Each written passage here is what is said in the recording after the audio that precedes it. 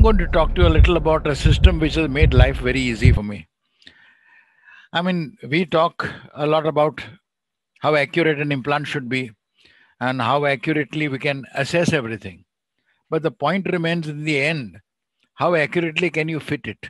Because there lies the rub, as one would say. If you can't fit it accurately, then all the investigation you've done, all the formulas you've applied, literally go to naught. And as one would say, perhaps the greatest offender and detractor which stands between good and poor vision is astigmatism. Therefore, correction and exact positioning of your implant is vitally important. When we are doing quality lenses, or even if you're doing a regular lens, the most important factor is the wow factor. The next day, the patient should sit in your chair, he should be happy, and he should say, Great doc, I'm happy, I can see well. In multifocal IOLs, even a residual astigmatism of 0.75 can lead to a poor functioning and lead to a lot of problems, including poor reading vision. And nowadays, people are, as one would say, they want a lot. Dil mange more, as the saying goes, and they really need more. The answer is simple if you use a mono, but in the next step, you, the important thing is how do you fit it at the proper axis? Various instruments have been used since the ages all sorts of alternate methods have been designed.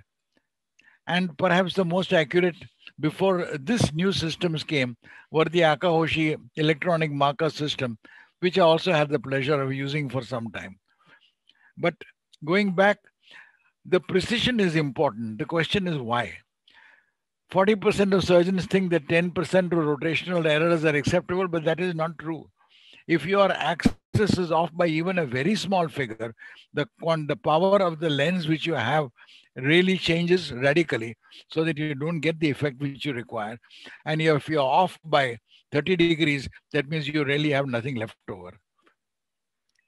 In the status quo, as one would say, of toric IOLs, a number of such studies have shown essentially that uh, cataract procedures which involve a toric IOL a lot of patients are not getting the quantum of astigmatic control which they really deserve and which they require.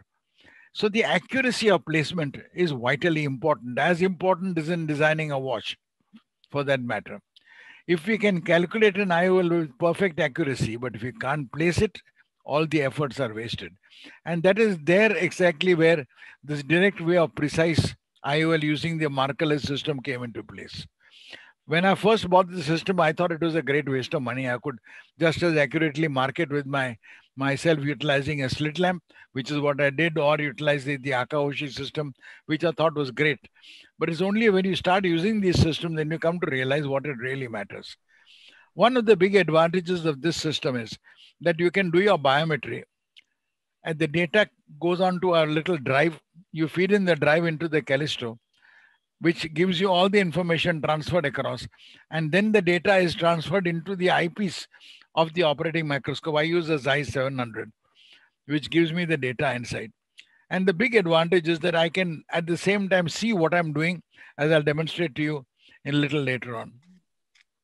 So the whole secret essentially is that you must get not only an accurate measurement device system. I use the 700. I've started using the topography system, which we have just been talking a few minutes ago. And personally, I feel that the accuracy of the biometer itself has improved. I have a feeling that what Zeiss has done is it's taken the direct topography readings and fed them in, in addition to the topography evaluation it originally had, and that has enhanced the accuracy. Because in the last three months that I've been using it with the topographer built in, it does seem to make a difference. Also, the other interesting factor is the topographer, which comes with the IOL master, measures only the central 3 to 3 to 4 millimeter zone, which is the area through which the patient is going to see subsequently. So it gives you a pretty accurate idea as to what is happening. With the regular topographer, you get a big view. And as they say, you know, when you're seeing 3D or uh, stereoscopic, the small little aberrations in the middle get missed out. The other advantage of the Callisto system is that you can utilize a Zeiss forum to get your details. And of course, you can feed your data in. So this, I think, does make a significant difference. It has made a difference to me. Uh, my regular routine in my regular work is 30% of all my IOLs, which I do or sometimes even more are multifocals. And uh, therefore, for me, getting a perfect accuracy is really important. And uh, the advantage of doing a transfer utilizing a jack means that you no longer have to worry about data being fed in, in the morning or not. If you have a long list, you are always worried as to whether your assistant has had his breakfast and whether he is going to feed the data in accurately. Because in the end, you are scrubbed, you are not going to feed anything. So this system by which you call what I call as a seamless data transfer does make a significant difference. And the big advantage is not only is the safety, but the fact that your information is is comes across onto you and it's available under your eyepiece so you know exactly what you are seeing and the advantage as one would say is that it gives you the information where you want it the other advantage of getting the data fed into the eyepiece which is there both with the Zeiss as well as with the Alcon system, mine is the Zeiss system, is that there's no distraction from the surgical field. Not only that, if the eye rotates, your, your image will rotate with it. So the toric changes which tend to occur when a person lies down compared to measurement is in the vertical sitting position is no longer there.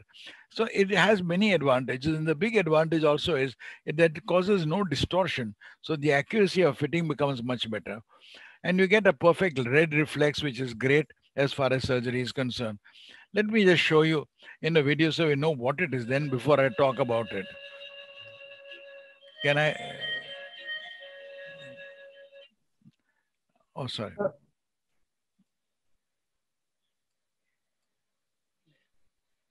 I don't want sound. Yes. Audio, can we increase the audio? Yeah. I'm going to shut off the audio because okay. it's better that you hear me talk rather yeah, than sure. talking to music. Sure, sure. So basically, I'm going to talk to you about how it is done. I'm going to talk to you steps as it runs down the line, so you get an idea as to what it can do. First of all, the big advantage is that you once your data is fed in, uh, as you are operating down the line, this is the surgery as it runs. I've not edited it, so it's basically an unedited version, as one would say, virtually unedited. And this is my routine type of surgery, which I normally do. I use uh, my diamonds to make the opening here. You can now lay on the cornea the exact size which you want to do and the size of the rhexis which you like to do. As you're aware, I when I do my when I do phaco, I like to tumble my lenses out. So I normally use a slightly larger rhexis size than others do. My normal size is 5.5 millimeter. And the big advantage is here is you can get a perfectly round rhexis. Sometimes the quality of rhexis you get is so good, you wonder as to whether I really, I wonder sometimes whether I should have actually bought the other uh, system which we utilize for uh, uh, system which we utilize for uh, doing cataract surgery, which is the Catalys. Now, as you you have on options of changing the color. That's why I put red, blue, and green. You can alter it to any color which you like. I normally prefer to use blue. It gives me a sharper image, but a lot of people have said that red is better use to use. So this gives you the level and the axis which you desire.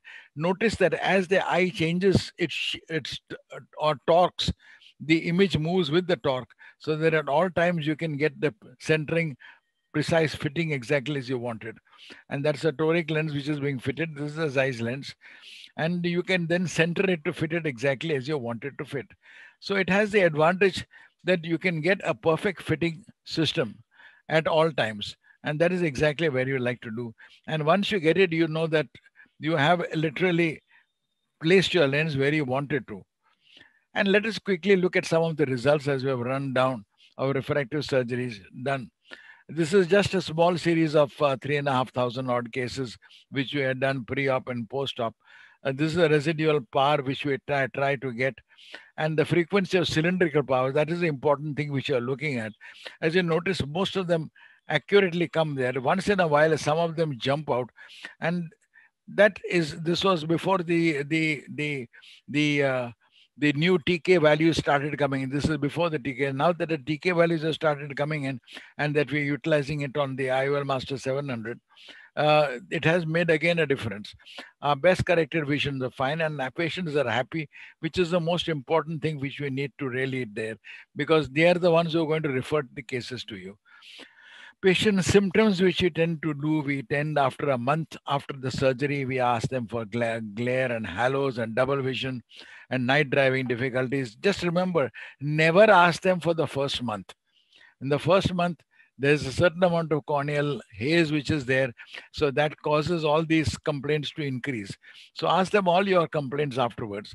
You, you do get a few night driving difficulty, a little bit of double vision, occasional halos, but these are all within limits. The important thing is just remember that what you tell a patient before you operate him is considered quite normal. If you tell him that after the operation, around a headlight, you will see two or three rings, he is not bothered. But you tell him after the surgery, he says a complication ho gaya, you may not have fitted the lens properly. So try and give the patient as much data as possible. I have often turned around and said that the most important instrument that you can buy is essentially a counselor because she is the one or he is the one who will really make life interesting for you. In summary, thus, precision in every step of your toric workplace is important. You not only need to have precise measurements, you need to be have a perfect time-saving markerless alignment. And of course, you need to have a proper selection of your toric models matching to give you the results that you really want. So in conclusion, many develops will come, developments will come. But the aim, final aim is total spectacle independence with excellent visual outcomes. And that is ultimately where we all want to go for. And as I tell all my patients that you will have this, but there's always certain amount which you give. So you have to tell them this, as one would say, that everyone wants happiness, no one wants pain. But you can't have a rainbow without a little rain in the sense that an occasional halo is quite normal, but in, in lieu of that halo, you are getting an excellent quality of vision.